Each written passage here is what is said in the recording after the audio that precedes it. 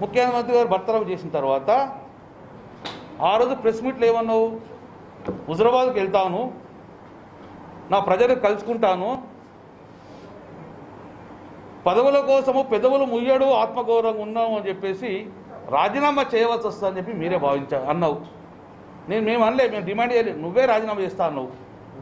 తప్పు ఏంది? ఎవరు కూడా రాజీనామా చేయరు చేస్తాను హుజరాబాద్కి వచ్చినాం హుజరాబాద్కి వచ్చిన తర్వాత రాజీనామా చేస్తామని ఆశించారు రాజీనామా చేయలేదు. హైదరాబాద్ నగరం వెళ్తాము. నా సంబంధికులు ఉన్నారు నా బీసీ వ్యవస్థ బీసీ బిడ్డలు అందరూ ఉంటారు. వాళ్ళని అడిగి నేను రాజీనామా చేస్తా అంటివి. హైదరాబాద్ పోయి ఒక బీసీ నాయకుని కలిసిన పరిస్థితి లేదు. ఎవరిని కలిసినావు నీ భగవంతుని దేవా పత్రికలు తెలుసు లోకాలు తెలుసు. కాంగ్రెస్ మెట్టెక్కినావు బీజేపీ మెట్టెక్కినావు ఎక్కడ అవకాశం రాలేదు. అక్కడ రాజీనామా చేస్తాను అక్కడ రాజీనామా చేయలేదు. మళ్ళీ ఈరోజు హుజరాబాద్కి వచ్చినావు ఈ రోజు హుజరాబాద్కి వచ్చి రాజీనామా చేస్తాను అనుకున్నావు ఈ రోజు రాజీనామా చేయలేదు.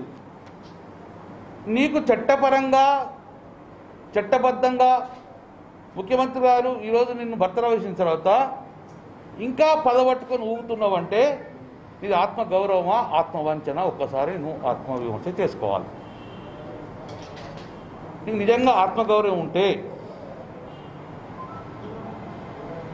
పదవుల కోసం పెదవులు ముయ్య నువ్వే అన్న వాట కట్టుబడి ఉంటే వెను వెంటనే రాజీనామా చేయి ప్రజాక్షేత్రంలో గెలుపో.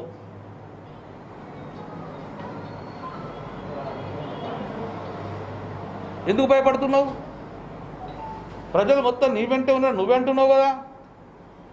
ప్రజలు మొత్తం నీ వెంట ఉన్నప్పుడు ఎందుకు గమల కరుణాకర్ మీద అసహనం వ్యక్తం చేస్తున్నావు?